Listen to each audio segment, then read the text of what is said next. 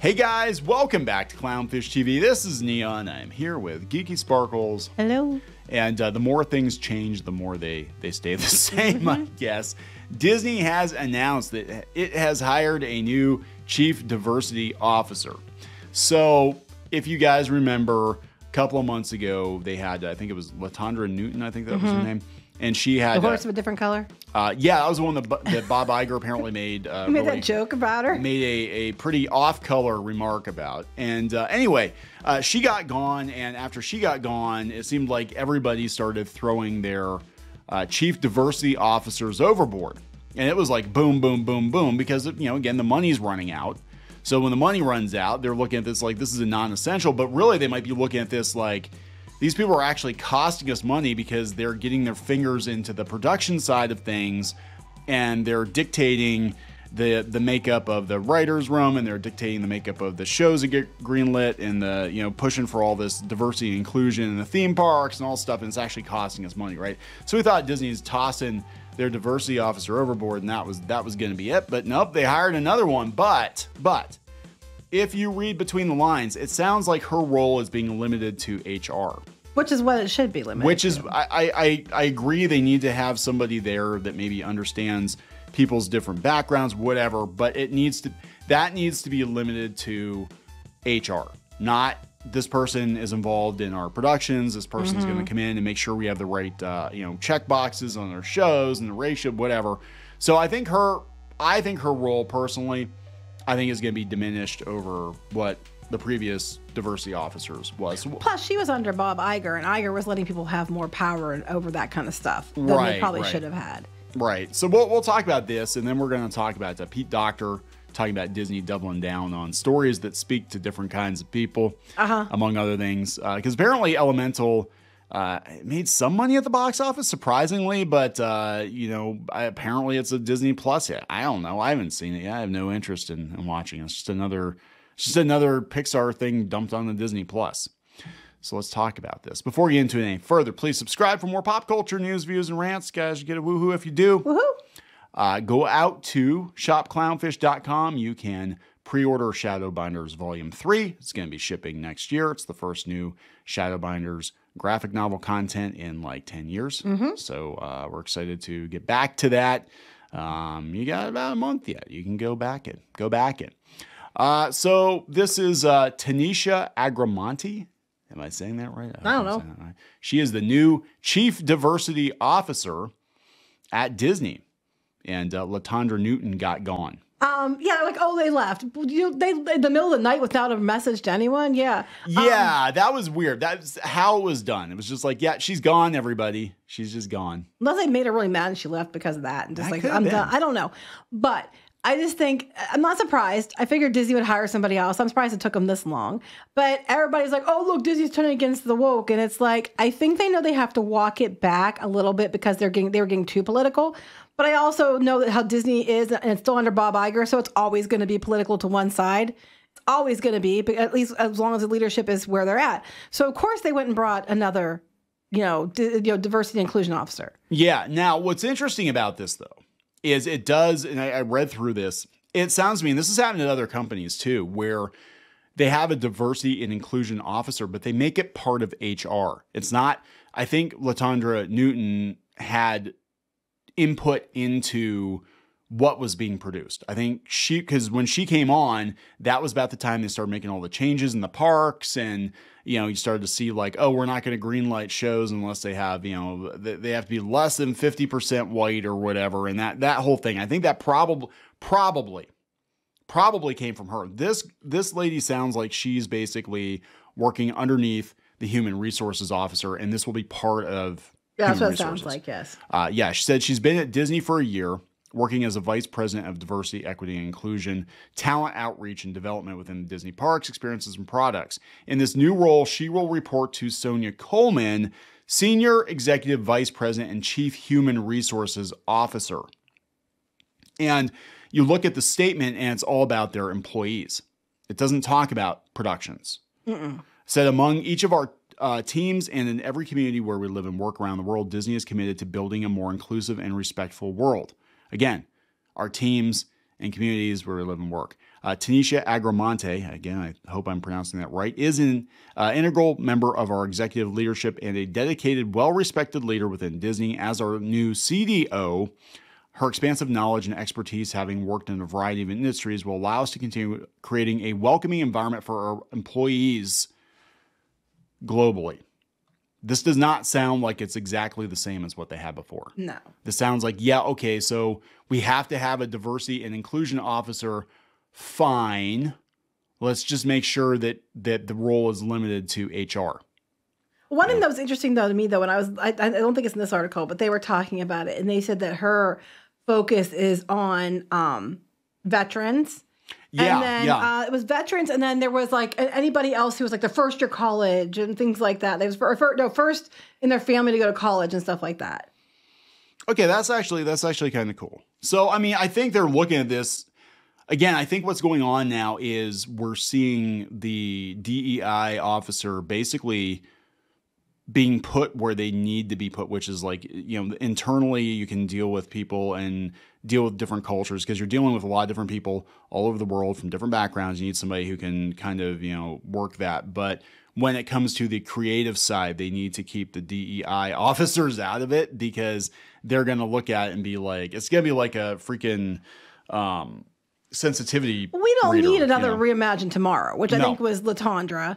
Yes. And that's when we had quizzes that were like ridiculous and, and, and you know, do you feel privileged? Meanwhile, a lot of people that are in positions of leadership, including probably Latondra, would have failed the said quizzes themselves, you know? Because, and they're like, well, anybody else is privileged. And I'm like, what? You know, so hopefully that's not what we're getting here. How, how much money do you make, Latondra? I'm Yeah, sure I you make know, a right? lot of money. You're probably so pretty um, privileged. yep. I'm not surprised at all. Disney hired new diversity officer. I'm not. I expected it.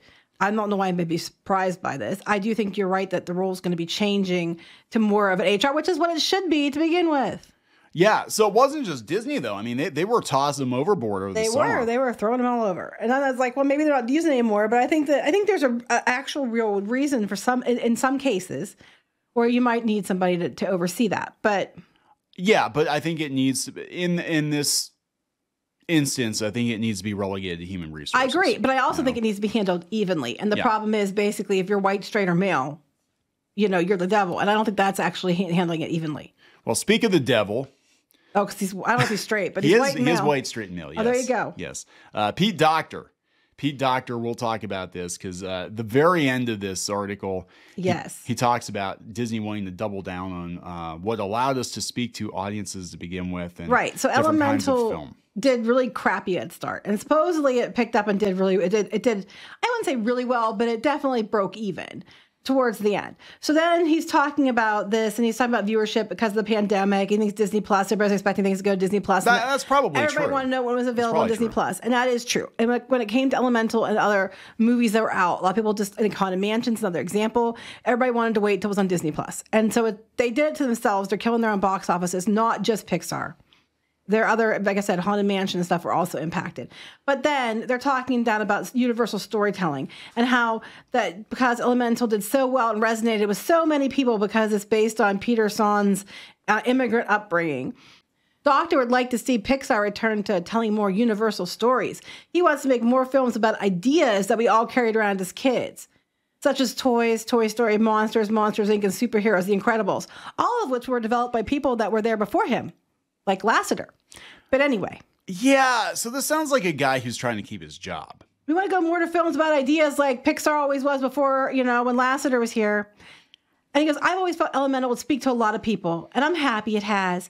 But we have also taken another look at these projects we're working on now. What are the kinds of films we want to be making? I really think we want to double down on what allowed us to speak to audiences to begin with, which would be ideas films.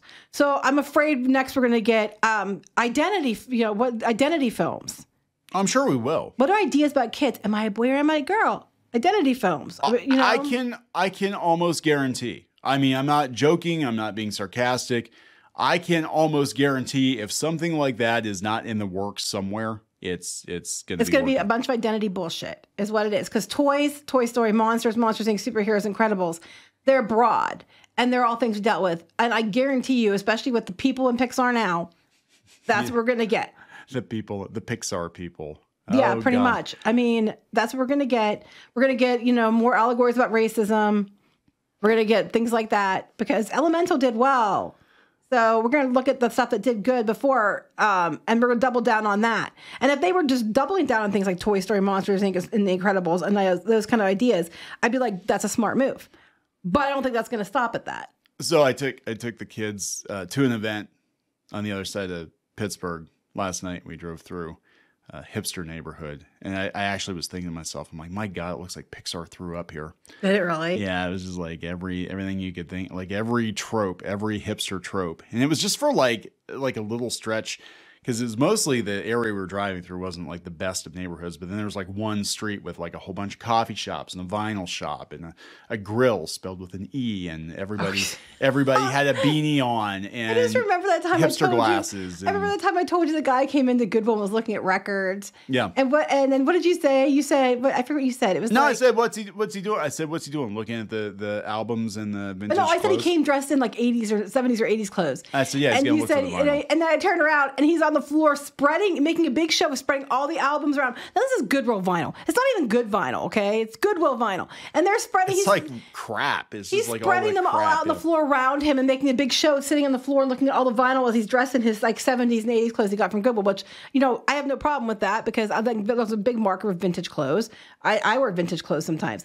I just think it's funny that he had to make this big show, and that's kind of what what like that area you're describing is. Or some of these you know Pixar films and stuff are. It's just a big show of saying, look how hip and down with it I am. And I think it's going to be, I'm worried it's going to turn into, Pixar is going to be the the modern equivalent of Dungeons and Dragons It already is. coffee shops and you know all it that won't kind of last long.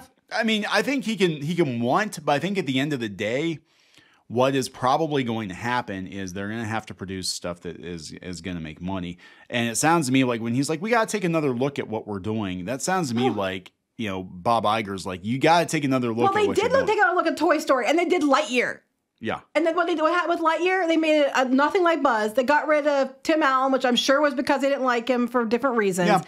And then they, you know, made a movie. It was nothing like the character, and then tried to shove agenda stuff in there, and people were pissed. You had you had a property that's a perennial favorite, and you, I mean, a, a proper Buzz Lightyear movie would have done phenomenal.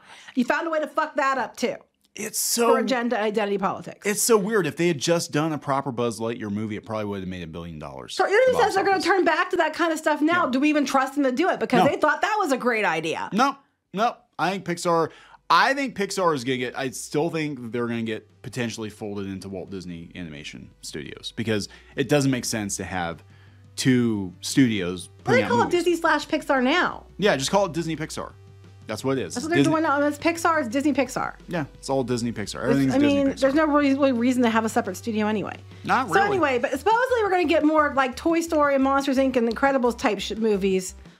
Um, Oh, except all the people that worked on those movies are no longer. That's what I'm saying. The people Yeah. that the people that are there now, we're going to get there, we're going to get more of the same, but this like with that kind of stuff. They're they're working with John Lasseter now at Skydance. well, Skydance got a bunch of deals with Netflix now. Oh, you know, and Lasseter's in charge. You know that they've got a bunch of Netflix deals. They were at Apple, but now they switched to Netflix, which is a uh, bigger deal. Glenn Keane's doing movies with them, Mm-hmm. and all these like Disney legends. The people that made People Disney, left and are now there. they're all going there. They're all going there.